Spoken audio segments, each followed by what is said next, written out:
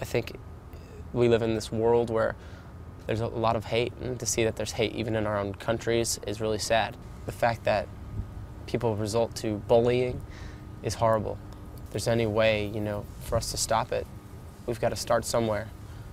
And it starts in yourself, and then it starts in your school, and it starts in your community. Being able to reach out to those people that are sitting at the cafeteria by themselves, or they don't have many friends. Things like that. You should sit with them. You should talk to them, get to know them, because they're just like you. Everybody has insecurities, everybody has fears.